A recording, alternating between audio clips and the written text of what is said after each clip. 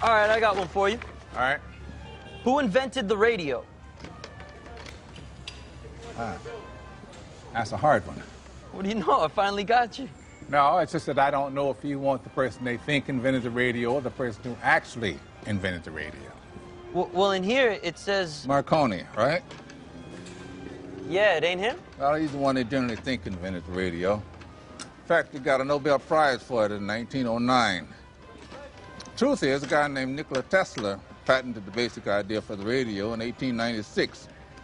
Same idea Marconi used for his patent several years later. Tesla fought Marconi till the day he died in 1943. Same year, the Supreme Court ruled that Marconi's patent was invalid, recognizing Tesla as the inventor of the radio. Carter, You really are sick.